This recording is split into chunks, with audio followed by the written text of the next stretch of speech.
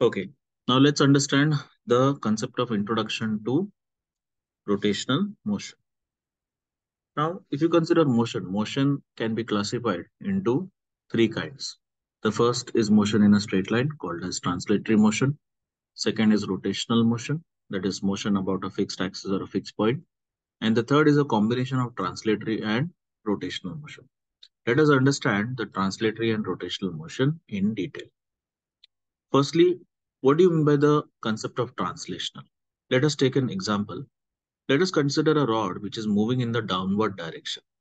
And observe these two points A and B as this rod moves in the downward direction.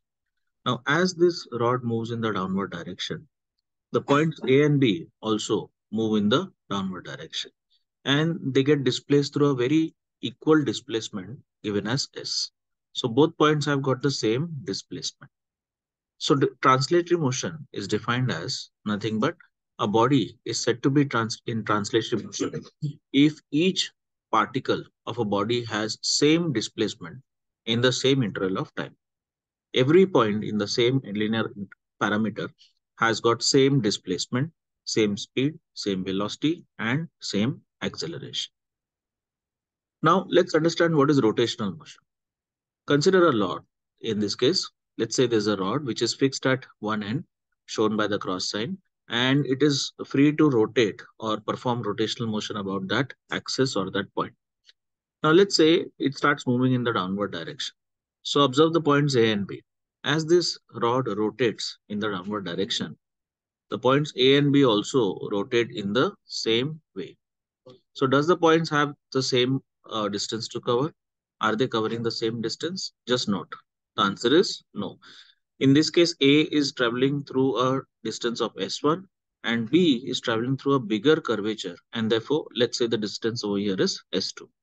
So in this case, what we notice that in rotational motion, we can define it as a motion of a body is said to be rotational if the line of particles in a medium remain fixed.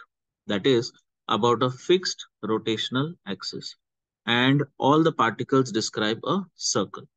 Every point has an angular parameter, that is, it has got angular displacement, angular velocity, angular acceleration, and in this case, all of them are about the given axis. Now let's take some example of rotational motion. So the first is obviously a hinged door. When you consider a motion of a hinged door, a door which is fixed with respect to one side and it is about to rotate about that so that motion is a part of a rotational motion. And another example would be a classic example of a ceiling fan. In all these cases, the particles are moving in a circular path about the same fixed common center, but in this case, covering a different displacement. I hope you are very clear with this.